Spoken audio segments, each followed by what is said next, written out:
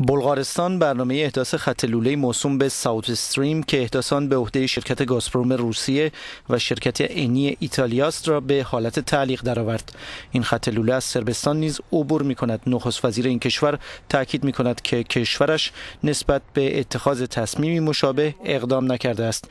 الکساندر ووچیچ نخست وزیر سربستان می‌گوید چنین تصمیمی میبایست توسط دولت سربستان اتخاذ شود که هنوز هیئت دولت تشکیل جلسه نداده. بنابراین موارد پیش بینی شده در پروژه احداث خط لوله به مرحله اجرا در خواهد آمد. اگر تغییراتی به وجود آید دولت درباره آنها اتخاذ تصمیم خواهد کرد. احداث خط لوله ساوت استریم از روسیه آغاز می شود. این خط لوله پس از عبور از دریای سیاه در مسیر خود از کشورهای بلغارستان، سربستان، مجارستان و اسلوونی گذر خواهد کرد و به ایتالیا خواهد رسید. با توجه به اینکه روسیه و شرکت‌های تابع آن تحت تحریم کشورهای غربی و آمریکا قرار دارند اتحادیه اروپا برای به حالت تعلیق درآوردن این پروژه به دولت بلغارستان فشار آورده و اجرای آن را برخلاف قواعد این اتحادیه اعلام کرده است.